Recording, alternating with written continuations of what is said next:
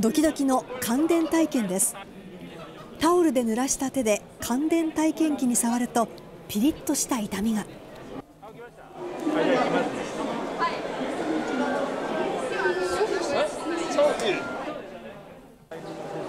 名古屋栄のフェニックススクエアで電気の安全な使い方を呼びかけるイベントが開かれました。感電などの事故は肌の露出が増える夏場に増えるということで中部電気保安協会の職員らがチラシなどを配って注意を呼びかけていました。